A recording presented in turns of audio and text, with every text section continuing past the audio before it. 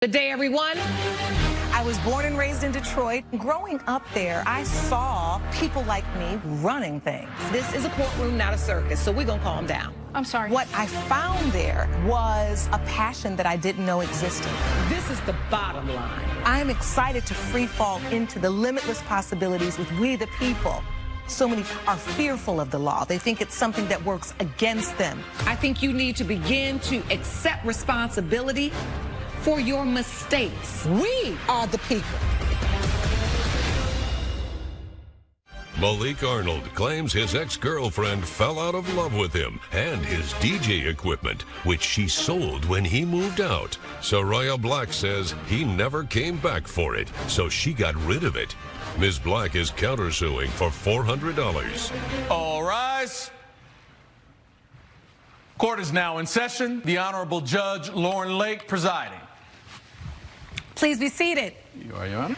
Thank you, Sean. Good day, everyone. Good day, Your Honor. This is the case of Arnold versus Black. Mr. Arnold, you are suing Ms. Black for $800 Yes, for. DJ equipment you say she sold. Yes, ma'am. Uh, defendant, you say he never picked the equipment up, Yes, ma'am. and you're countersuing for $400 to damage to your furniture. Yes, ma'am. All right, let's start with you, Mr. Arnold.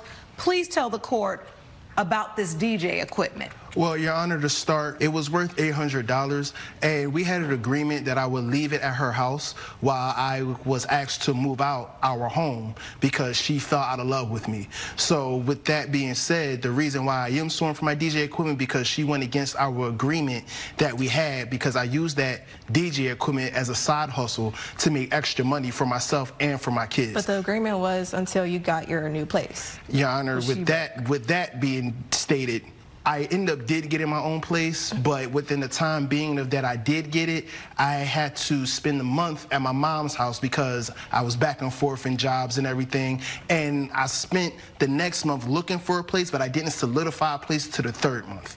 So within the three months that I did find my place, I did take a little extra time to get my place, but I am was still planning to pick Your up my stuff DJ. stayed at my So you're in a relationship, you think everything's going well. How Yes, long had you been together before you broke up? We've been together for seven years before we broke Oh, up. Oh, seven years. That's a It's long It's time. a, it's a minute. So, Ms. Black, you fell out of love with Mr. Arnold. After seven years, you had to be honest with him. Yes, what ma'am. happened? So basically, within the last year of us breaking up, we're just arguing every day about like small things like housework, um, taking care of the kids. He also has another child outside of the relationship, and he puts in more money into that child. But our kids, it's like I have to step up to the plate just to take care of our own kids. Two. How many at do you have? Two. And Two and ages? Um, they're two and three. Okay. So, you come to him and honestly say, I just don't feel like I'm in love with you anymore. Take me back to that day. Yeah, so basically, with that conversation, I just told him like we're arguing constantly every single day about li- literally just small things, the smallest things. You all broke up after seven years and didn't have any conversations? That's where the fraudulence occurs because I've presented multiple times before we had our kids. It was a different situation. Of course, I didn't have other. Res- I had just the one responsibility that was different. Now that I have two other kids in the mix, it's hard for me to But give. it, it takes two to plan. It, It- takes two to have kids. It takes two to have kids, to but it also it's- takes two to have a conversation and for two to listen. You felt like Ms. Black wasn't listening and wasn't communicating with you? I feel like that she just made everything about her and then look at the other things around it of the other things that I am doing to make sure my family runs well, along with the little child support I have coming out my check from my other child. So, Ms. Black, you felt neglected with all of these other things. Yes, I'm still young. I see my my friends and other just other people around at my same age, and they're literally traveling, just exploring the world with men that can provide for them and But do take they care have of kids? them. And some of them do. First of all, I'm still seven years in this relationship, no no ring. So. You think I'm still gonna be just a boyfriend? well- Okay, so you're seven That's- years in the relationship, no ring, but two kids. Why have two kids if if, you, if the relationship was contingent on a ring? I mean, Right. I'm not saying it's contingent on a ring. I'm just saying like for me to continue being we I'm we're right now co-parenting. Now, have you ever heard the phrase "comparison is the thief of joy"? Yes. I heard you say you were comparing your life, comparing your relationship to other people's, Mm-hmm. and who and, and and and I could just see what you were describing. Their man is taking him here and there, and you're probably looking at all this social media nonsense. It is absolutely ridiculous. But granted, a lot of the friends that she does have, I don't know if all of them has kids, but when you have kids, things change. And I have been openly communicating with her about that too. And so when she said, I've fallen out of love, I really want you to leave, you just said, okay. At the time, yes. And why is that? Only because I just picked up my trucking career. I was on the road a lot, so I didn't really have time to come back and digest digest the things that was going on. And so you quickly extensive- just had to move your things out.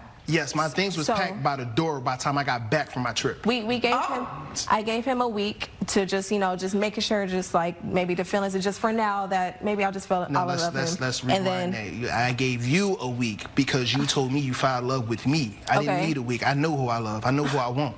Coming up. What made you just give it away? If this is something that he uses, equipment he uses as a side hustle. Well, let's to clarify. make- She I'm said- talking, Mr. Arnold. All right. We're back with a dispute between Malik Arnold and his ex, Soraya Black, over DJ equipment and property damage.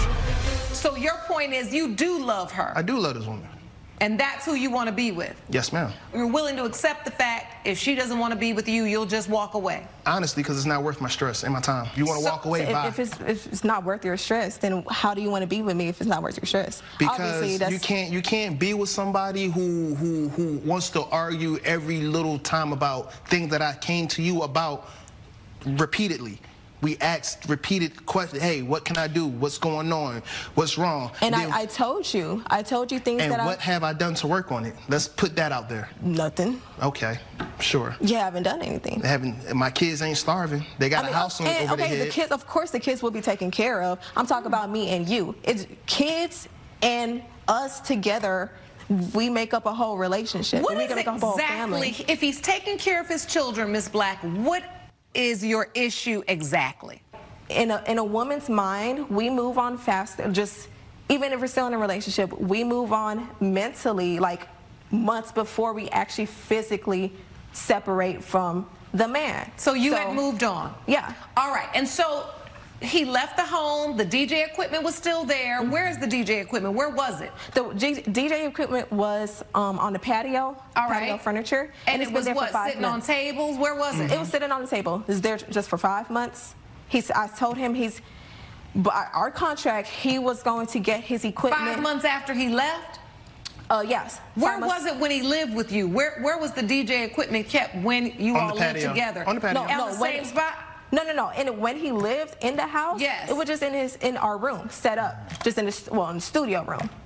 Okay, so Just- in a room set up. Yeah. But then when he got ready to move, he put this DJ equipment on the patio. Because I packed all his stuff, and then the I guess I just put that on the patio. So you put it on the patio. No, Yes. ma'am. No. When you oh. move moved the No. stuff? What ha- this is what happened. My DJ equipment is a little has a little weight to it. So what happened was after we had this little argument or whatever, I I packed up my stuff and put it. I put my DJ equipment on the patio. Now what happened after that, I don't know. But right. I, I took my stuff out the room and I just put it on the patio. And then I went on my trucking route. And then I came back. The rest of my stuff was by the door.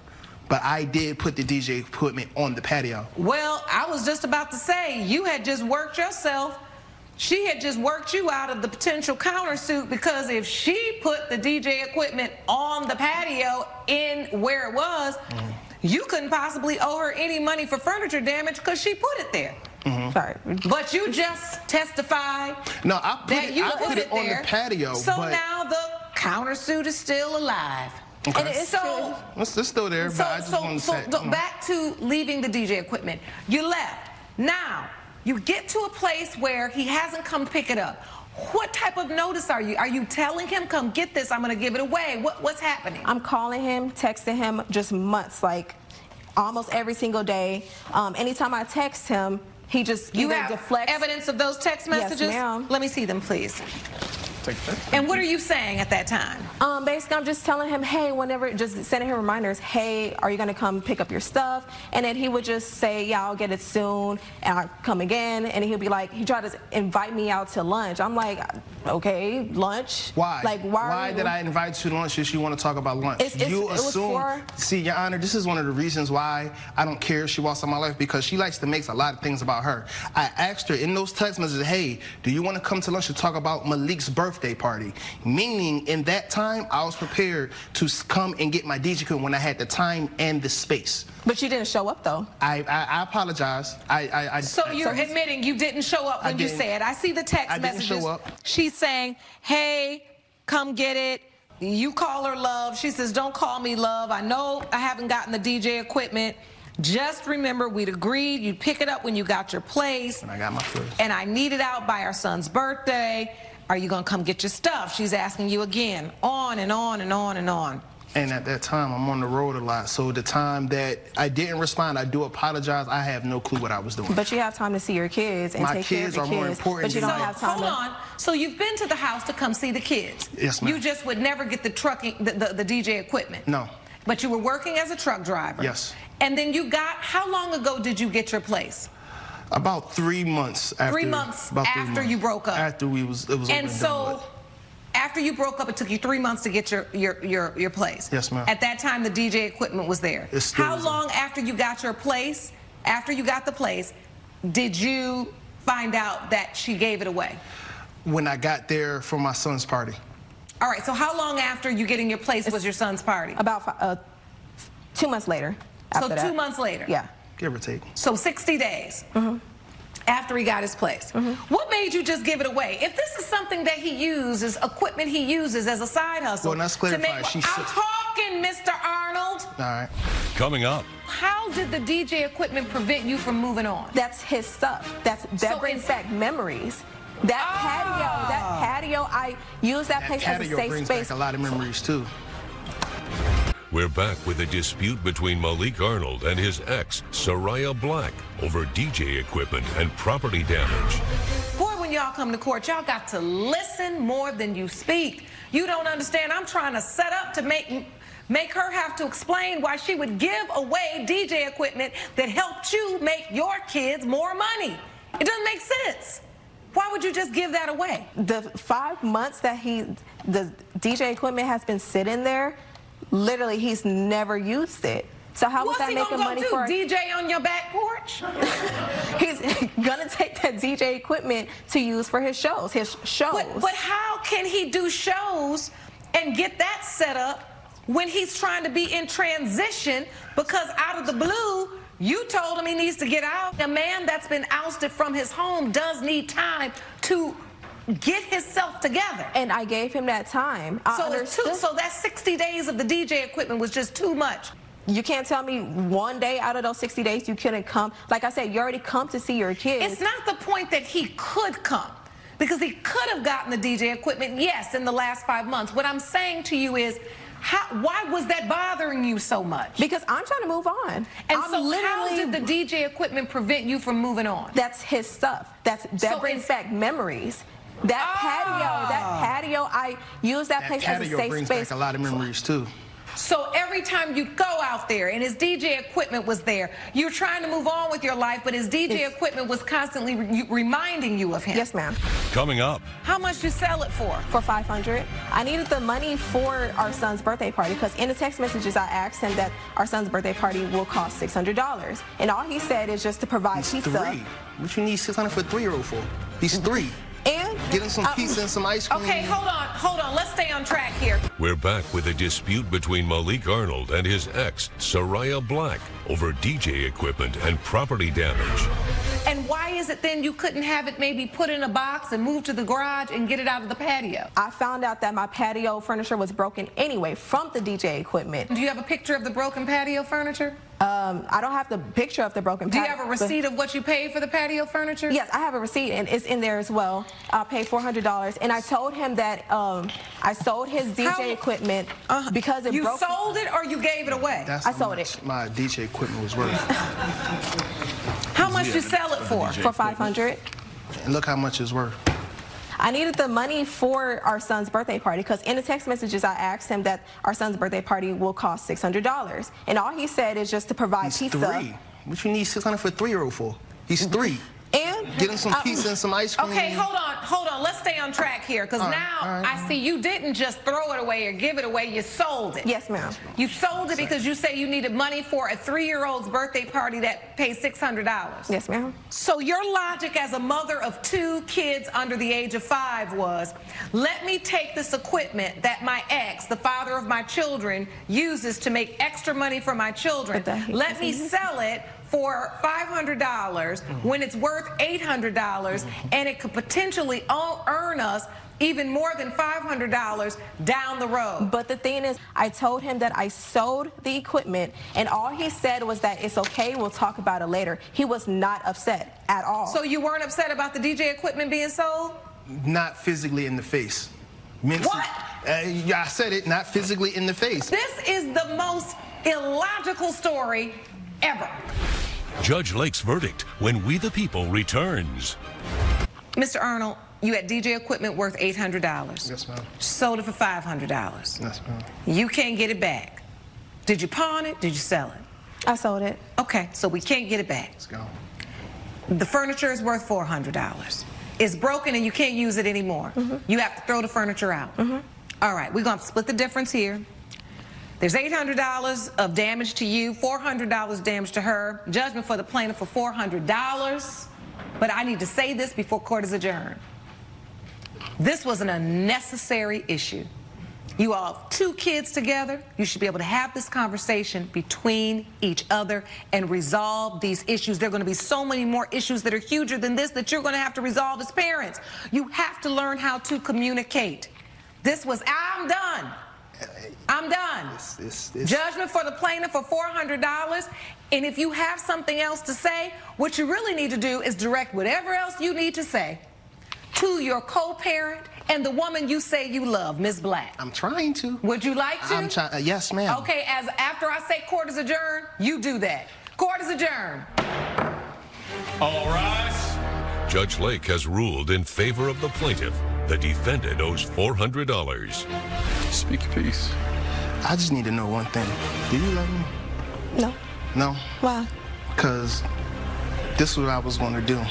I was going to ask you to marry me, but Why you so extra? I'm Come not on. being extra. It's just that I guess.